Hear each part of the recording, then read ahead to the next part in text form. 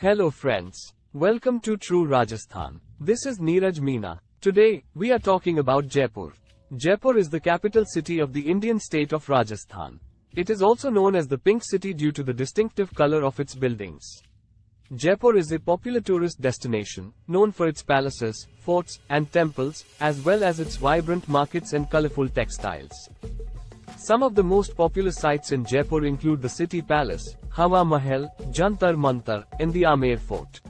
Visitors can also enjoy traditional Rajasthani cuisine and take part in cultural activities such as camel rides and folk dances. Overall, Jaipur is a vibrant and fascinating city that offers something for everyone.